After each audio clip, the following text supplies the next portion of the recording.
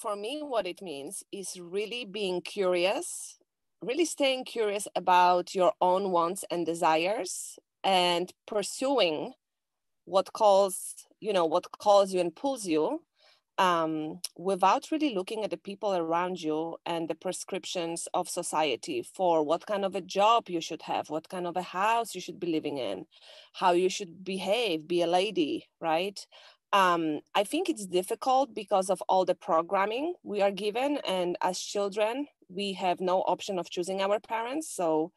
we are at the mercy of the adults in our life